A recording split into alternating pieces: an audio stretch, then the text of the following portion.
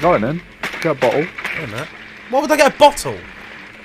From toilet. Do you know why? Get a boil. get a bottle from the toilet, Yes. as all normal people do. Yes, exactly. Yep.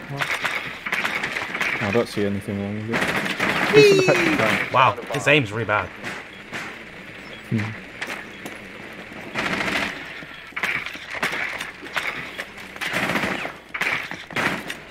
Their aim is really bad. What the fuck is this?